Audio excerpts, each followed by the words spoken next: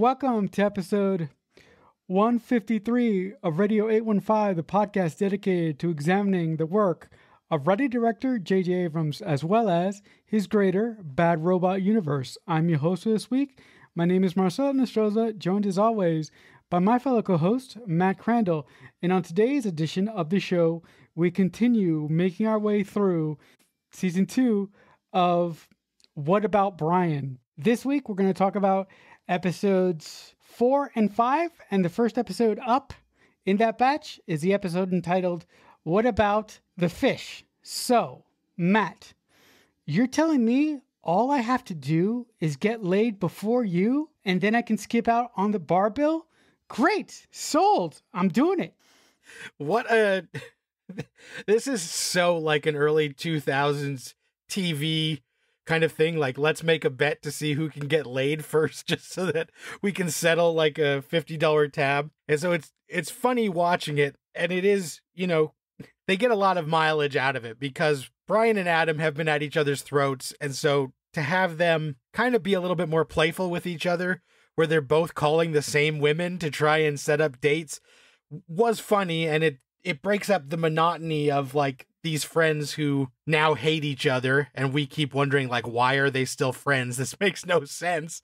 So i really thought that aspect of this episode was one of the stronger things as we still start to ripple the the effects of the last few episodes where we see, you know, last episode ended with Dave and Dina deciding that maybe things were over because Dave got caught thinking that he was meeting Suzanne in a hotel and it was Dina. And so we have to deal with the fallout of that, which then causes more fallout with Dave's professional life in a way that is so frustrating and annoying.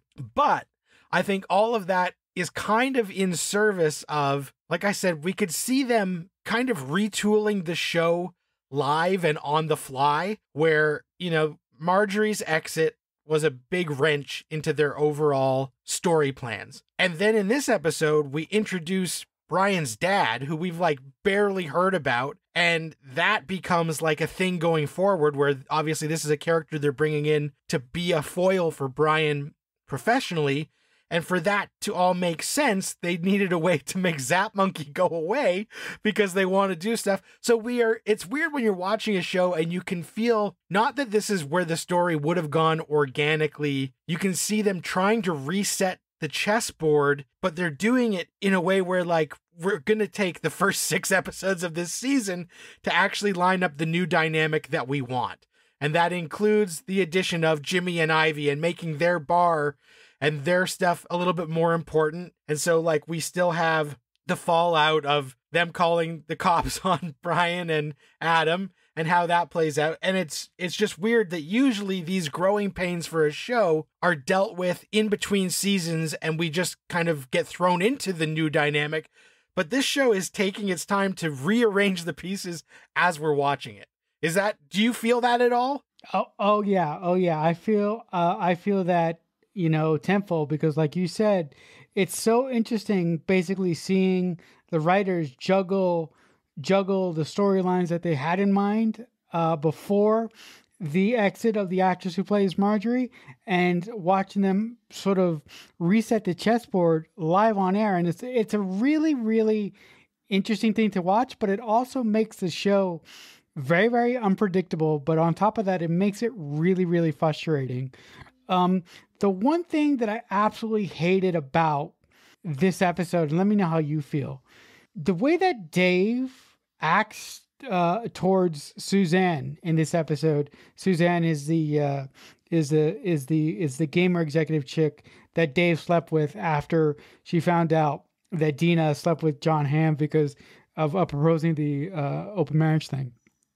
The way that he acted towards her after he decided to end the uh, to to end their association, which in turn, which in turn, as a way to her, as a way for her to get revenge, she basically uh, ended the deal between Zap Monkey and her video game company. So the so the video the, so the video game that Brian and Dave were working on is no more, and the only reason for that is because Dave mishandled a relationship with a top executive of the company that they were working with. Now, I I like like his behavior towards her really fucking pissed me off. I I I felt so angry with him uh, uh during this episode. Did you feel some of that or or is that just me? It's not just you. It's so frustrating to watch Dave fumble and fumble and fumble and they took a character who like was fun as this married sidekick of Brian's and and they've kind of dragged him down because he has made all these mistakes but then he keeps making them. Like you don't you can break it off with uh, you know your side piece, but you don't make her feel like an idiot if she also has the password to the server that can ruin your goddamn life. You change the password and then you tell her off. Like you got to use a little bit of common sense and use your head. And what also was frustrating with the whole, you know, Dave is, and especially Dave not realizing the consequences of his actions. Dave dumps Suzanne and is kind of rude to her. Then the game gets shelved, and the language she uses is exactly the way he was talking to her. So she's letting him know subconsciously the reason your game is shelved is because you dumped me and fuck you. But he doesn't pick up on it. And he then goes and doubles down after Brian puts his entire life financially on the line to get the money to buy the game. Then Dave goes to get his stuff and he's really rude to Suzanne and says, Guess what? You were being a bitch and you were being an idiot who knew that it was just sex. And we bought our game back, so fuck you. And then, of course, she downloads the game and releases it for free. There.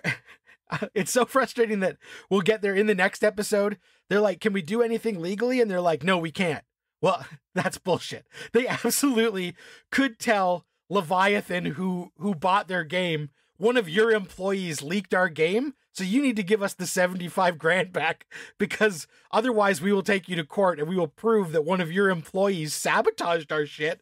So like I I hated that whole thing. It's all just this domino to make Brian go and work for his dad. But Dave is just so stupid. He didn't, even once he's broken it off, he doesn't need to be rude to Suzanne because what you got to remember, Suzanne knew that he was married, but knew that he had an open marriage and that things were rocky. So she did nothing wrong. right? Like her liking Dave and wanting to be with Dave, she's not a bitch for doing that. Dave's the one who opened that door in the first place. So for him to be so rude to her, I understand why she wanted revenge. It just sucks that Brian is the collateral damage of the revenge, and she doesn't know that Brian is now financially ruined. Uh, so, like, you know, Dave just being mean for the sake of being mean was petty, and he got what he deserved, but he's taken down the whole company and Brian with him. Another thing that really, really bothered me about Dave in this episode specifically is that when Suzanne leaked the video game after he got over that initial shock, it was only then that he mentioned to Brian, "Oh, by the way, uh, you know, you know, possibly why this happened is because I slept with one of the people on the team that was going to make our to was uh, uh, I slept with one of the people on the team that was going to get our game out there into the public and potentially make us millions. But the the the unprofessionalism of Dave to do that and to and for him to expect Brian to accept that is fucking asinine. So I really like the scene when Brian basically explodes after he told him that because like uh like like uh Matt mentioned, Brian basically put put his entire life savings on the line to save Zap Monkey and because of Dave's poor decisions and because of Dave not being truthful uh, enough with Brian about what is going on in his life, Brian is financially ruined and David's just a fucking asshole. It so I'm like, so what so what's the deal? And and another thing, I'm just I'm I'm just thinking about uh, about, about about reasons to hate Dave in this episode. I'm sorry, guys. Um, after everything goes to shit with Zap Monkey, Dave expects Brian to come up with one more hail mary pass to save the company. Why should she have? To, why, why should he have to do that? If Dave is the one that got them into this fucking mess in the first place. It makes no fucking sense. So you're telling me your best friend is going to put up his hard-earned money to save to save the company, to save your company that you fucked up in the first place, and now you accept him, and now you expect him to come up with a golden parachute to save your company that you sabotaged in the first place? That's ridiculous.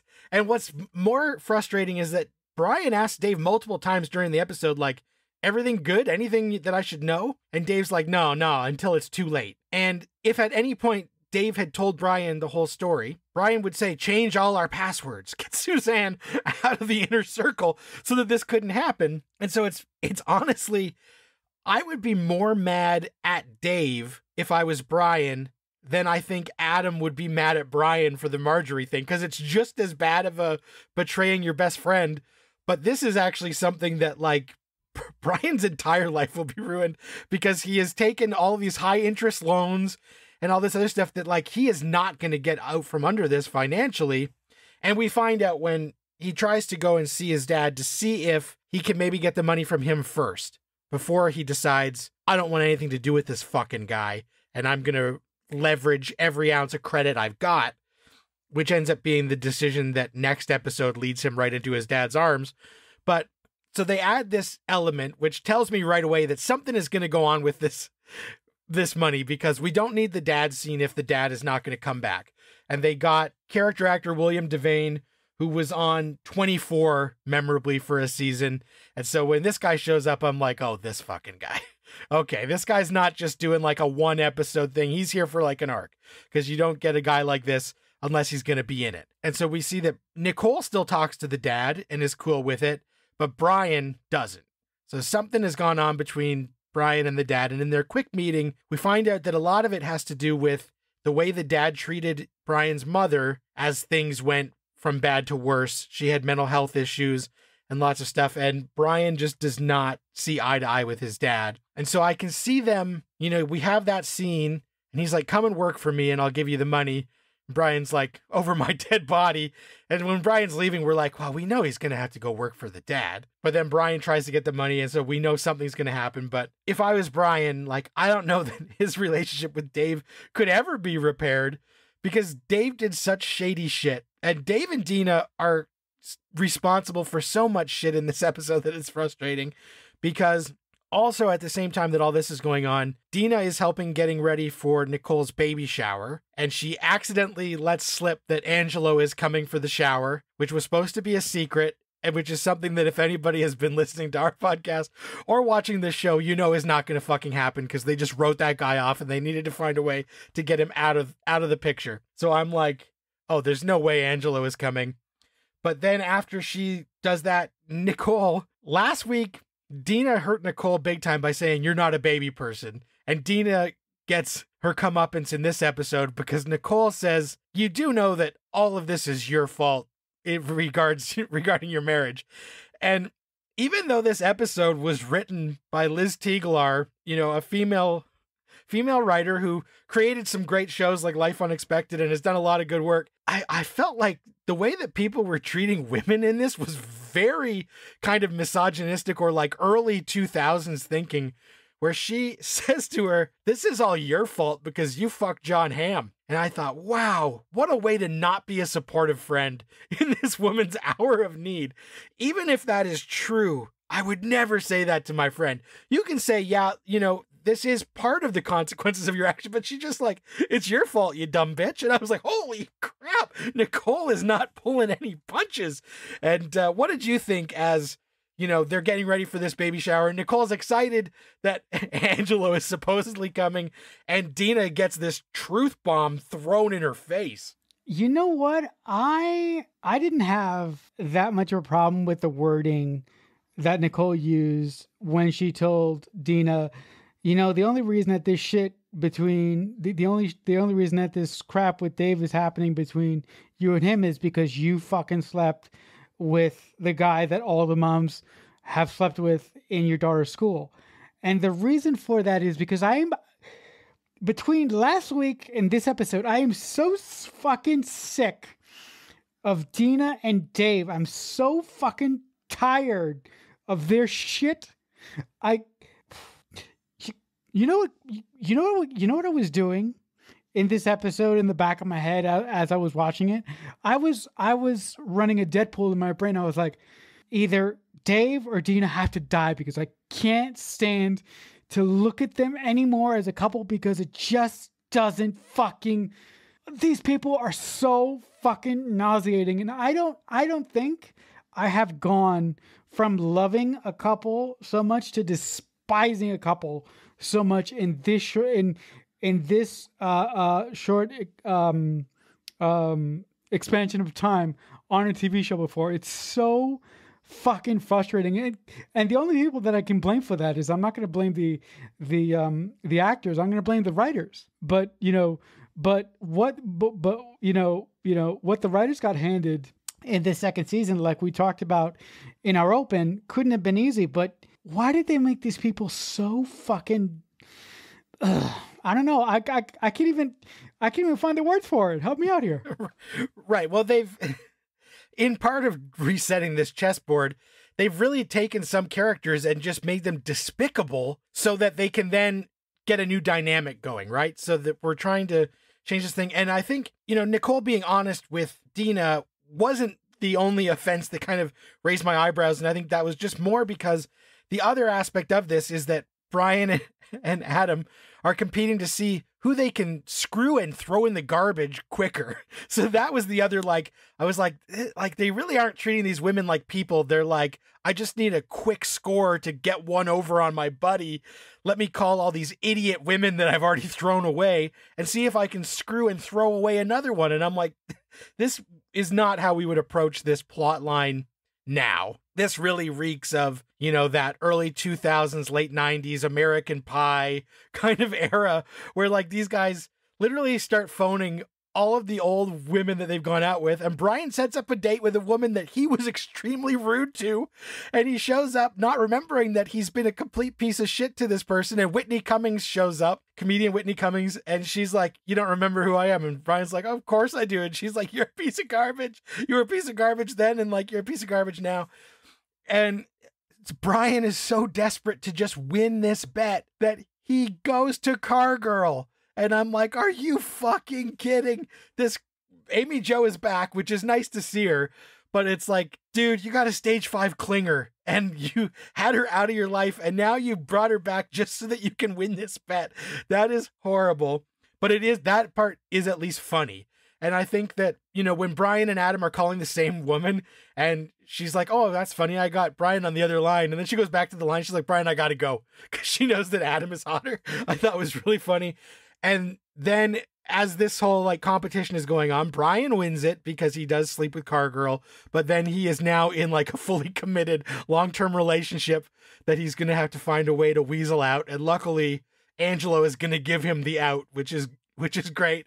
and then Adam has a meet cute with the stripper from his bachelor party in Rachelle Lefevre's summer, as we know her in this episode. And he starts, they start to hit it off, but then she also can sense that this dude is just horny for all the wrong reasons and she shuts it down. And so I liked that moment. But what do you think of the Brian and Adam race to get laid and Adam and Summer having this meet cute in a grocery store and then them trying to to lay some foundation for Adam to maybe move on from Marjorie pretty quickly. I did. I listen. Listen. I understand what the writers were going for with this comedic competition between Adam and Brian, but I did not like it. You know why I didn't like it? The whole first season was all about Brian, Brian's unrequited love for Marjorie, and there was the, there was the, uh, there was the Adam, there was the Adam wrinkle, you know, you know, you know, in the back of my mind. So this made me feel like, okay, you both of you have lost a woman that you dear for, you know, you know greatly. And what are you going to do now? You're going to you're going to do a competition to see who can sleep with a woman the fastest to get out of a fucking bar bill, to, to get out to get out of paying a bar bill. I, I I felt that they should I felt that the writers should have gave the characters a little bit more time to mourn for the loss of Marjorie because I thought this competition although funny as hell uh, specifically when uh, when uh, Brian got maced by Whitney Cummings at the you know you know uh, uh, at the outdoor restaurant. That was really cool. But I was like, I don't know if this I don't know if this storyline is appropriate not for today, but for the characters uh, for for for the situation that the character for the situation that the characters are in right now as people Um, you mentioned Summer. I think that Summer is the writer's way to show to the audience that no, you know, we understand that we didn't write Adam correctly, and through this character, we're going to show you that Adam can change as a person, and we're going to make him lovable through this character. So I'm excited to see where that goes. Oh, Matt, you have something to say? Sorry. I was gonna say we got well. They find out that Angelo died at the end of this episode. Uh, with with the bad news right on top of our heads, we move on to uh, the second episode that we're going to talk about this week, entitled "What About Angelo's Ashes?" So, Matt, my question to you is, um, have you seen these ashes before? I haven't, but I got to tell you that, you know, we knew Angelo was not long for this world because he's been shooting this movie out of town and every time he's supposed to be on a phone call or whatever, he's been missing it. And at the end of last episode, fucking Brian and Car Girl are going to pick up Angelo at the airport. And Brian gets a call that Angelo is dead. There's a car accident, Angelo is dead. And so they go to the party, and Brian is a horrible brother, to be honest. He's he's awful. He shows up at the party, and Nicole's like, Where's Angelo? And Brian stands across the room, 20 feet across, and just looks sad. And she then realizes, like, Where's Angelo? And Brian just stands there looking sad. And I'm like, go give your sister a fucking hug, pull her into another room, and tell her her husband is dead. And Brian just stands there looking like a sad puppy dog from 20 feet away. Can't even hug his sister, can't even tell her. And so then we pick up where we are getting ready for Angelo's funeral. So we've jumped over the the like gut wrenching she just finds out scene. We've skipped that, thank God, because I don't know that it would have been worth seeing. And I love that everybody is like, oh, this is awkward. It's horrible. And Car Girl is like, I kind of got to get the fuck out of here. Like, I thought me and Brian were going to maybe get back together, but like, this is too much. And so she actually, Brian, and everybody's saying to Brian, like, you got to get rid of this bitch. You got to get her out of here. And luckily, they mutually decide now is not the right time and they're gonna they're gonna part ways and everybody is marveling at how Nicole seems to really be handling this well. And so we know that by the end of this episode, there's going to be a breakdown because they're like, she's handling this so well. She's so strong. And I'm like, this is bullshit, especially she's pregnant. So, like, her hormones and emotions are going to be going crazy. And her husband has died. And there's also, I just want to point out, you know, there's a moment where she gets a package from Angelo near the end that actually causes the breakdown after we find out this whole she stole the ashes and like I hated everything to do with the, the stealing of the ashes and whatever. Partly because Nicole has not been a character that we really connect with that much. She does a lot of weird, erratic things, and she's been a liar to her husband, and they've done so much weird stuff with that character. And she and Brian should have this really tight, like emotional relationship, and they don't. And I'm like, well, then why do we even have the sister be part of the group? If she was just another friend, the show would play out exactly the same. So, like, that keeps bugging me as she does these erratic things. But I just have to say, in terms of like the Angelo death stuff, you know, I don't know if it was just they didn't want this actor back or what. Like, it's not like he got canceled or something. He's still around. He's still working. so, like, I I'm not sure why he wasn't back.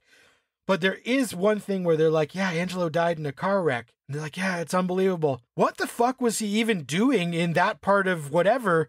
Wasn't he supposed to be in this other part? And it, it's such, it's never addressed again in this episode, but it's such a red flag for like something is going to come back later because they're like, it's really weird that Angelo was in this other part of Italy. We thought he was supposed to be in this other part. So, like, the TV guy in me is like, okay, we're not done with Angelo, even though he is now dead, because that line of dialogue was such a red flag for like, why would the friends even point that out to us when their friend had died, unless it was going to be a plot point later? Did you catch that at all, or is this news to you? Yeah, I did. I caught it, and when I heard it, I had to actually, I, I had to actually uh, rewind the, the the episode. I'm like, why would they say that in such a specific way? Because Angelo was supposed to be in Los Angeles filming a movie, right? And and right after right after they said uh, uh, the line in question, I think Brian said that he was on. He he was like uh, Ang- Angela was on vacation, so uh, so I think that the writers tried to cover up their plotting for something bigger to happen with the Angela character later on by Brian saying that oh the reason why that the, the reason why he was in this part of the world is because he was on a break from the movie that he was supposed to be shooting in LA or or or or wherever he was supposed to be shooting. Um, I do want to move to the point that you mentioned. Nicole as a character has been so much has been so mismanaged throughout this entire series. I really like this episode, but do you know why I like this? I like this episode for all the wrong reasons. The reason why I like this episode is because this episode showed me that the writers can give Nicole and Brian scenes together. So all through, so so all throughout this episode, I'm thinking, you know, this episode would hit a hundred times harder if they would have developed her character and they would have given Nicole some scenes together with Brian in season one. Because the reason why I'm loving this so much is because we haven't gotten any of it before. like, like, like this this episode, for all intents and purposes, is centered around Nicole. And if you've been watching since season one or you've been listening to us, you were like, wow, this is something really cool and this really works. Why didn't they do this before? So that that will always be one of my biggest mysteries of this show, why they mishandled this character so much. Like I I couldn't believe it. That's a mystery and also, you know, this is an MFZ again, a Marjorie free zone and regardless of what happened with her and Adam, she was part of the group and presumably knew Angelo just as well as all these other people, and she can't even be bothered to come back for his fucking funeral? Are you kidding me? Good riddance, bitch. What the hell? So I thought like we we don't even really give her like a mention, like hardly at all, if at all. So I that just stuck out to me that like we couldn't even have her phone in to try and offer her condolences or something like it was really weird and conspicuous. And, you know, as the Zap Monkey stuff continues, so the the Angelo stuff is is the A storyline, but the B storyline is that Brian and Dave are still fucked, and Dave Dave cuts bait. Dave is such a dick. He's like, Brian, um, I know you ruined your life because I wasn't honest with you and I didn't tell you about all this stuff that could completely fuck all of us over, and in fact did but now I have actually taken a job somewhere else and I'm leaving you high and dry. So good luck, buddy. See you later. And Brian's like, oh, I guess I got to go work for my dad. And we're like, well, yeah, of course. That's how this was going to play out. And so Brian takes the job with his dad begrudgingly. And they still are kind of butting heads about this thing that happened with the mom. And the dad's trying to get Brian to see his side of the story. And Dave is now going to go work somewhere else so Zap Monkey is no more. So we don't have this, you know, Brian and Dave at work dynamic that we were kind of like was weaved into season one, but not so much that it's really going to change much of the show. Um, so I thought that was interesting that we're we're resetting that so that these two guys don't work together; they work somewhere else. So we can now have Brian have dramatic tension with his dad at work, but we can also cut to you know Dave being the odd man out at some new job and probably being like the old guy in like a young situation or something to get some humor out of that. And then we, more workplace stuff, we find out that Adam has been acting so erratic since getting left at the altar that he got passed over for partner and Jimmy got it and so did somebody else and Adam didn't get this big promotion that he really wanted. So his work life is also shit. So that's going to cause some tension. But then they try and get us to Adam and Summer, who he discovers her real name is Heather, not Summer. Summer is her stripper name. They keep trying to make that relationship grow so that can be something going forward. How do you feel about all of this? You know, we're resetting the entire workplace storylines of this show because Adam, who was a hot shot and doing great, is now passed over because he is not any good at his job anymore. And Brian has to go work for his dad. First of all, did you realize that the the the job that Dave took is that that company that Dave and Brian tried to sell their last stitch game to that, that's a he he took the job at the company that Brian and, and him pitched to their their last game idea called Evolution or something which sounded pretty cool but in but but in practice it probably would have been awful. Just like yeah but uh, how did you how did you feel about that? Just real quickly and then and, and then I'll talk about all the Adam stuff and everything else well, their pitch didn't go great, so like the guys in that meeting kind of seemed like dicks. so so it's weird that they had to obviously they wanted to give a reason for Dave to get this call out of the blue and for Brian to have not done great in the pitch so that that's why they don't want Brian. But um again, it just felt like we need to get to point B, so we got to drop this scene in so it's not out of nowhere. Mm-hmm, mm-hmm. Um, the other thing, the the other thing that I hated about sort of sort of Dave leaving Brian high and dry is that his excuse for leaving Brian high and dry and leaving him, you know, in the middle of the ocean without a fucking paddle, basically, is he's like, oh, I got a family I need to think about. Motherfucker, if you were so concerned about your family, then you wouldn't have done this thing. Ugh. Control yourself. It's only a show. it it just it just really pisses me off. But um but also to your point, I really think that uh, uh, the way that the writers are sort of restructuring the chessboard, to use your wording, is really, really interesting. I just think that these two episodes have been a victim of them trying to reshuffle the show into what they think uh, uh could be best for it moving forward. The uh, the Adam and Summer stuff, I'm still going to call her by a super name because I like that name better. Um, I think is all great, but I do think that Adam is a spoiled child because because uh, when uh, uh, him and Summer sit down to have like a to, to have like a, a lunch date together, she is remarking on seeing his yearbook and reading his, you know, senior thesis of everything that he wanted to do in his life. And she's going, Why can't you be that guy? What is preventing you from being that guy?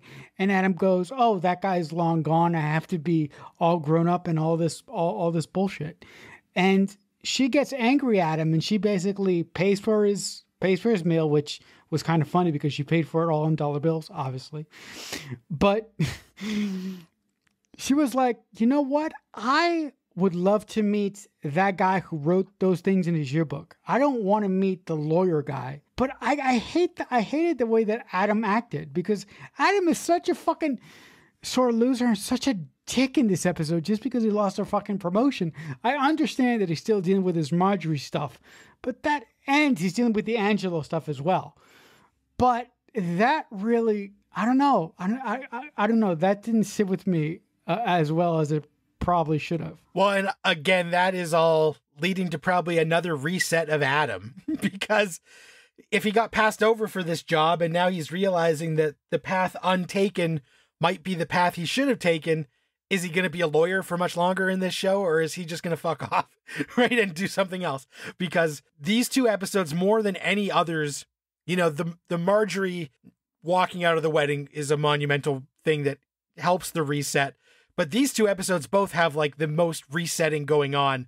So it was almost like I don't want to spread false rumors, but it's it's like the show realized we need to retool and ABC probably said like we'll give you guys like a handful of episodes to reset and then you guys got to figure it out or like we're done.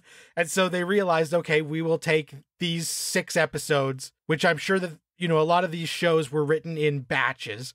So I'm sure that they were like let's do that and then we will we'll do the reset and see how that goes if we can boost the the ratings. And it what it ended up not being enough because this show is only a two season show. But it's interesting because usually when that happens it's like the showrunners and the whole writing staff leave and they bring in new people. But so far it seems like it's a lot of the same people just realizing that the show that they were making is not the show that people wanted to see. So they had to retool it as it was going. So that's kind of interesting to watch those growing pains pay, play out live in front of our eyes each episode where like we're almost there where they don't want this old married couple like Dave and Deena are basically about to be divorced by the time this one is is done. But then we get like a are they?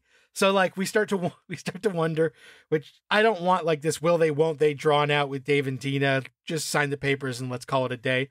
But also, you know, I also don't care for like a Nicole being a detective storyline where she finds out that Angela was doing some weird shit in Italy that we're going to have to look into. So every time they do something that I like, which I do think, you know, getting rid of Dave and Brian working at this video game company and going out on these awkward pitches, like, I don't want to see that show. I don't mind having Brian have to work for his dad and have this father son drama. I actually think that could give some good results. But then at the same time, they they keep adding stuff that I don't want at all. And if we cared more about Adam, we would care more about what Heather said to him when he's taking those words to heart or not.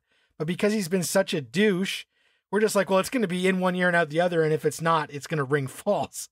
So every time this show does something I like, they do two things I don't. And I keep feeling like, you know, last week they had some of it right where the fun stuff about this show is supposed to be all these couples and third wheel Brian, who's like the single guy, and him having these crazy dating misadventures and his friends trying to intervene. I like that show more than like this is kind of starting to become like a very a lot heavier I feel whereas it was a lighter show to start but now we've got to deal with divorce, death, all these heavy themes. Whereas when it started it was just like wouldn't it be funny if this single guy fucks up all the time he's trying to get laid and he's looking for love and like it's just not going his way? And we're moving further and further away from that and i kind of wish we could get back to the lighter tone.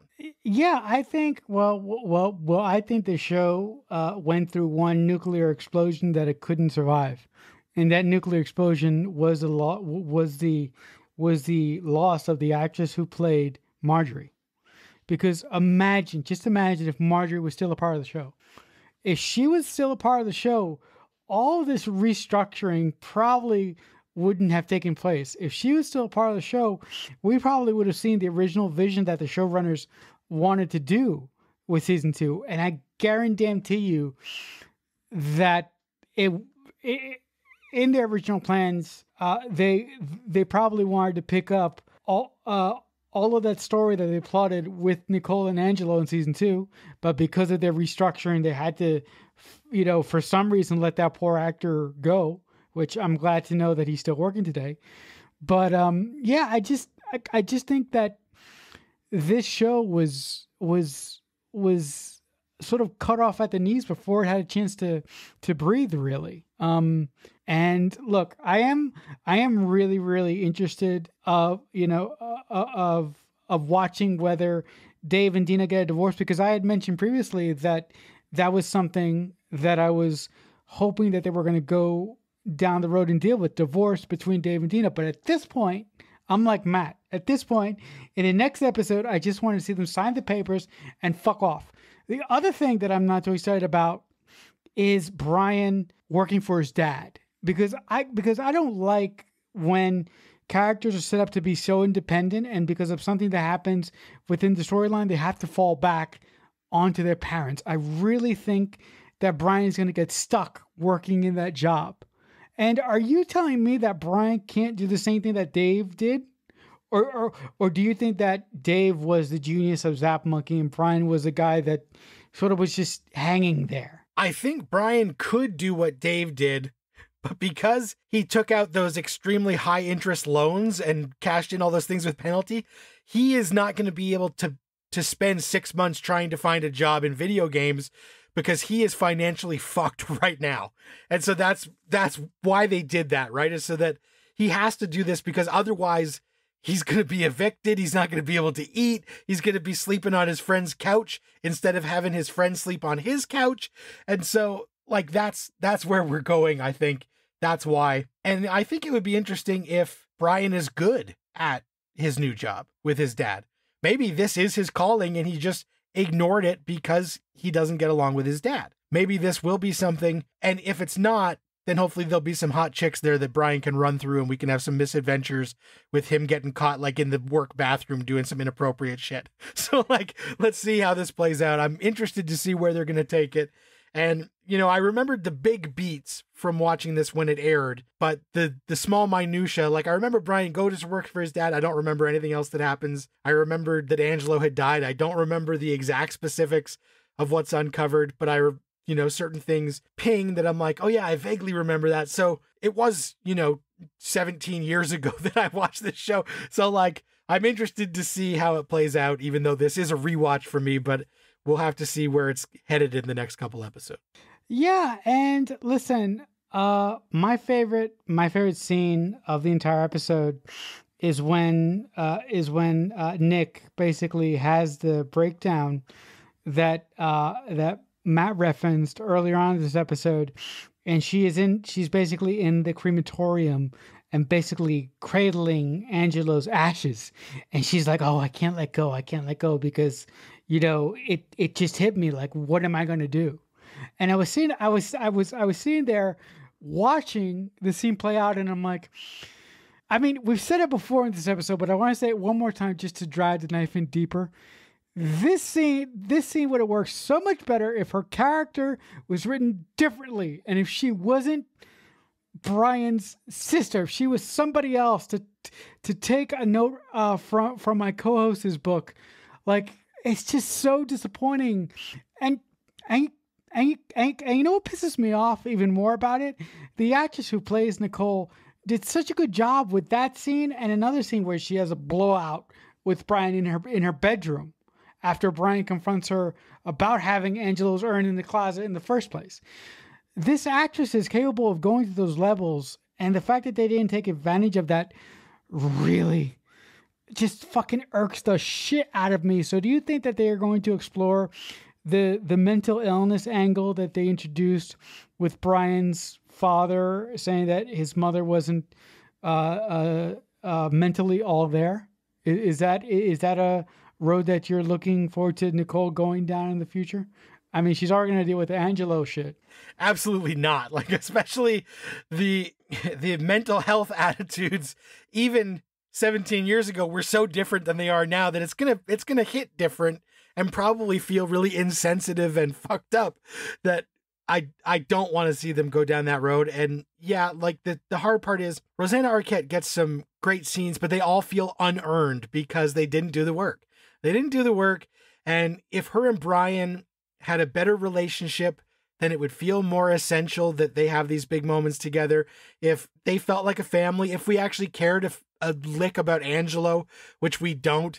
And even when they're getting rid of, they're putting his ashes into the ocean off the pier and Adam puts on the jaunty cap that Angelo used to wear, and I'm like, fuck you. Like, none of us have affection for Angelo. I barely remembered that he wore these stupid hats until Adam pulls this out. And you're trying to make it a heartwarming moment, but it's just house cleaning. You're just setting a table. Like, just fucking bring the meal out already. I don't need all of this shit because you haven't earned it. You didn't do the work, and you're trying to take shortcuts.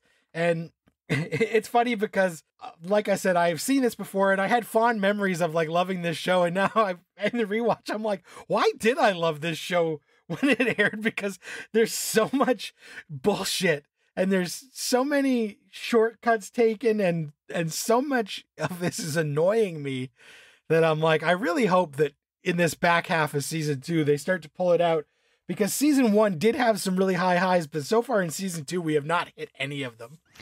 Yeah, look, look, look, look. As somebody who is watching the show for the first time, I'm really disappointed because I've gotten a lot of I've gotten a lot of the things that I thought I was going to get, but not in the package that I was going to get. I think I, I, I think the biggest shock for me was uh, as we were getting closer to the end of season one, and you sort of dropped the hammer on me, going, uh, "Just so you know, one of these characters isn't going to be here next season and that's going to fuck up everything.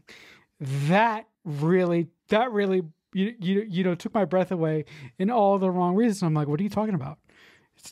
The show can't go on without her. She's the glue and i really think that that's coming i, I really think that her absence is uh, really uh, indicated to me how important she was to the show. And it's just unfortunate that the bean counters uh, uh, behind the scenes didn't recognize that and didn't negotiate her contract fairly enough for her to stick around. Right. It's basically if after the first episode of season two, Joey Potter said, Guys, I'm leaving Capeside. See ya. And we still had to go on with the show. It would be like, Are you fucking kidding me? How did this happen? right? So, you know, I, I feel for the people involved that they had to do all this work, but you know, we will I'll hopefully try and be more positive as we move forward, but we'll see. Especially now that we got Angelo out of here. I've been waiting for that shoe to drop, so like that guy's fucking gone. So let's let's get the what about Brian 2.0? Let's hit the gas on this thing. All right, guys, and on that positive note, that'll do it uh, for this week's edition of Radio 815. Listen, guys, if you like anything that we do here, I encourage you to give us a like, a comment, uh, wherever you happen to be listening to this to on. We're on all podcast services, and we're also on YouTube at youtube.com slash radio 815. Uh, if you want to reach out to us personally, you can send us an email at uh, radio815 at AOL.com. But if you want to reach me and talk to me about anything having to do with What About Brian or Bad Robot in general, uh, you can you can actually reach out to me on our X page. It's uh, JJ Universe 815 uh, but Matt, if uh, the audience doesn't want to reach out to you, where can they attempt to? They can come and log some movies on Letterboxd. I've got an account over there, and uh, my user handle is MDC3000. All right, guys. So thank you so much for listening. But until next time, as I say often, we'll talk back soon. Radio 815 is a Balloonhead Productions presentation in association with Killer Newt Productions.